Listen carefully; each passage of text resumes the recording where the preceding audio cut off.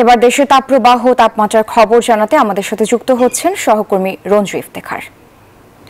Sir Mehjabin আপনাকে ধন্যবাদ। দর্শক তাপমাত্রার আরও খবর নিয়ে হাজির হয়ে গেলাম আমি রঞ্জু ইফতেখার। দর্শক, সারা দেশে বয়ে চলেছে তীব্র তাপপ্রবাহ।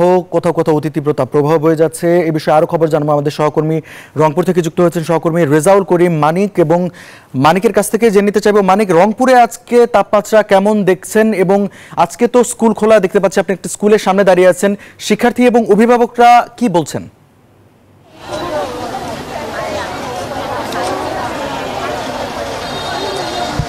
আর রঞ্জু এর আগের বুলেটিনে যেমনটি বলেছিলাম যে প্রাণের উচ্ছ্বাসে মেতেছে রংপুরের শিক্ষা প্রতিষ্ঠানগুলো, অর্থাৎ দীর্ঘদিনের বন্ধ থাকার পর আজকে যখন শিক্ষা প্রতিষ্ঠানগুলো খুলেছে, ছাত্রছাত্রীরা কিন্তু অর্থাৎ তাদের খুশির জোয়ারে ভাসছে, তারা কিন্তু স্কুলে আসছে এবং আমরা সব প্রায় অধিকাংশ স্কুলে খোঁজখবর নিয়েছি। তারা কিন্তু শিক্ষা প্রতিষ্ঠান প্রধানরা বলেছেন যে শতভাগ প্রায়, অর্থাৎ নাইনটি ফাইভ থেকে সিক্স পার্সেন্ট শিক্ষার্থী স্কুলে উপস্থিত হয়েছে এবং আজকে যদিও তাপমাত্রা রংপুরে পঁয়ত্রিশ দশমিক দুই ডিগ্রি সেলসিয়াস বিরাজ করছে, তারপরেও তাপ উপেক্ষা করে কিন্তু শিক্ষার্থীরা আসছে।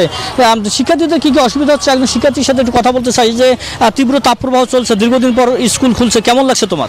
স্কুল খুলছে, স্কুল অনেকদিন পর খুলছে, এই জন্য ভালো লাগছে, কিন্তু এই অসহনীয় তাপদাহ, দাবদাহের জন্য একটু খারাপ লাগছে, কারণ পরিবেশটা অত্যাধিক গরম, তাছাড়া বাকি সব কিছুই ভালো। অসংখ্য ধন্যবাদ। একজন শিক্ষার্থীর সাথে কথা বলছিলাম বলছিল তার কথা। একটু একজন অভিভাবকের সাথে কথা বলতে আপনার সাথে কথা বলতে চাই যে আপনার ছেলে অথবা মেয়ে স্কুলে এসেছে তো এই তাপপ্রবাহ উপেক্ষা করে কেমন লাগছে আসলে?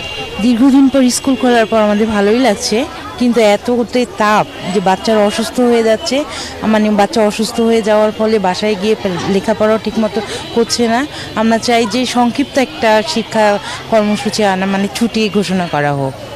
অসংখ্য ধন্যবাদ আমরা কথা বলছিলাম শিক্ষার্থীদের সাথে তারা কিন্তু বলছেন তাদের কথা। একটু বিষয় বলে রাখি যে অর্থাৎ বিভিন্ন শিক্ষা প্রতিষ্ঠানে পানির ব্যবস্থা করা হয়েছে এবং এবং শিক্ষা প্রতিষ্ঠান প্রধান এবং শিক্ষার্থীরা বলছেন যে বিদ্যুতের যে ঘন ঘন লোডশেডিং এটি যাতে না হয় এবং অব্যাহতভাবে বিদ্যুৎ সরবরাহ থাকে, তাহলে কিন্তু শিক্ষা প্রতিষ্ঠান খোলা থাকলেও তেমন অসুবিধা হবে না তাপপ্রবাহের মধ্যেই। তো এই ছিল আমার কাছে রংপুর থেকে সর্বশেষ রঞ্জু।